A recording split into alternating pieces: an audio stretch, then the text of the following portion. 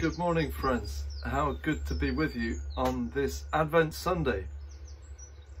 I'm going to read to you uh, a couple of verses from our Gospel reading and then pray. Jesus said, But about that day or hour no one knows, neither the angels in heaven nor the Son, but only the Father.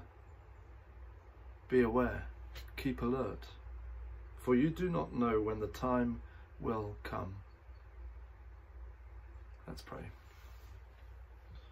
May the words of my mouth and the meditations of our hearts be acceptable in thy sight, O Lord, our rock and our redeemer. Amen.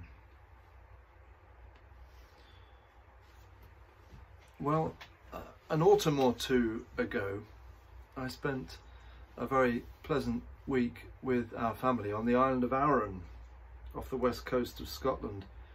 It is, as you may know, a lovely spot, especially in the vivid heathery dampness of autumn. On our last morning, during a lazy lunch hour in an art gallery, we casually mentioned to its owner that we were catching the three o'clock ferry. Are you sure? she replied, adding that the only ferry from the island that day was leaving in 45 minutes' time. We checked, and she was right. Our luggage was back at the farmhouse 45 minutes away, and we had a flight to catch back home.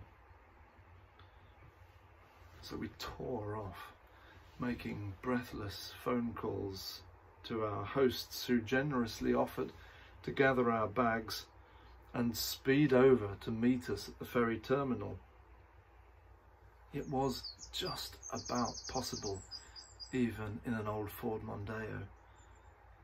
And so it was that with literally 30 seconds to go, uh, the mooring ropes being untied around us and the horns sounding on the ferry that uh, my brother-in-law's car screeched up to the terminal.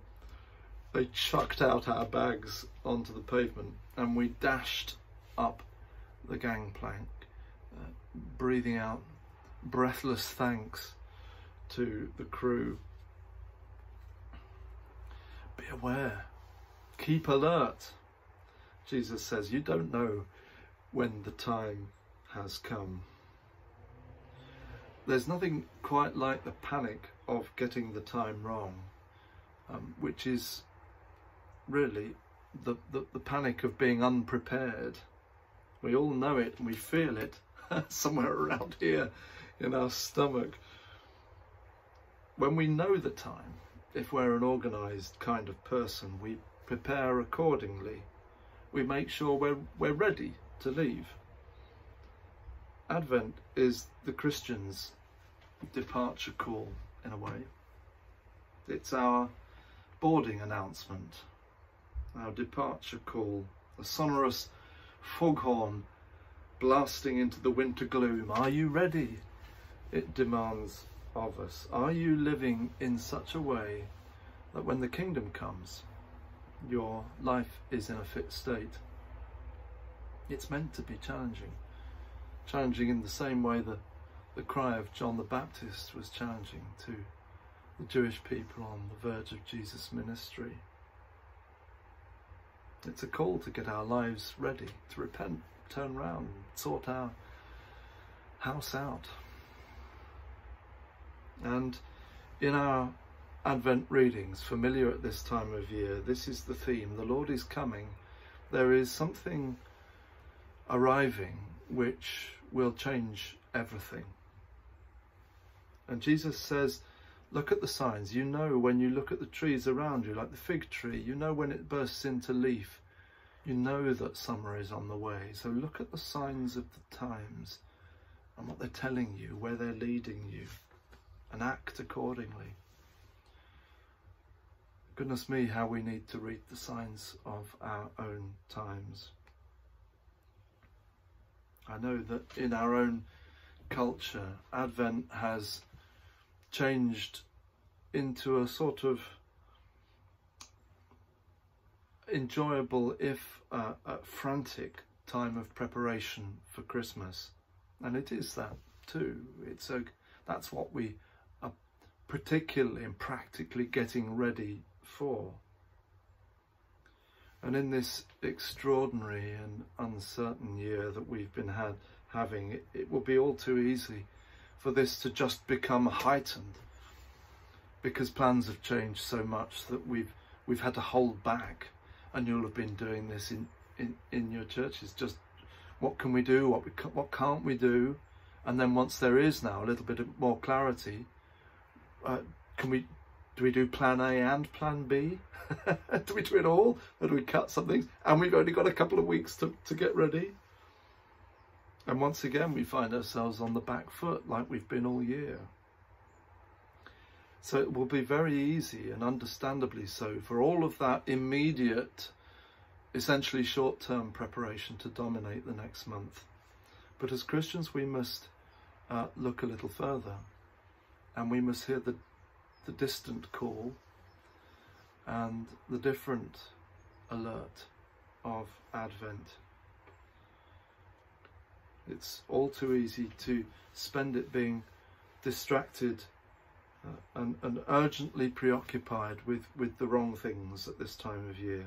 But where our heart is, there our uh, time will be. And where our busyness is, our mind and our mood and our money will follow. So the word Advent, as you probably know, means arrival. It's, it's our preparation for divine arrival. Yes, in the immediate sense of Christmas coming, but principally in in the second coming of Christ. Not an easy theme to either imagine or to communicate in our own time and place.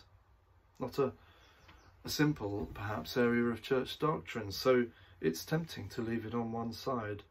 Hard enough for many to believe that the first coming has happened without bothering with, with the second. And so despite the warning signs around the globe that, that human actions, our actions, have eternal consequences. Despite our deep-seated longing too that there will one day be, be a time of reckoning between good and evil. When things are sorted out and balanced, we comfort ourselves as best we can with the distractions of festivity, and I, I do it as much as anyone. We've spent the year trying to keep alert. But this Sunday we have a different kind of alert. Alert to eternity, to God's life arriving in the here and now, which it does whenever we turn to Christ. This is the, the mystery of our faith, that when we turn to Christ, we are turning to, uh, to eternal life to life that lasts, in other words. Life that is of a different order or a different kind of endurance from the, the usual things. Like the trees wither and fade away, the cycle of the seasons. We know that, we're familiar with that.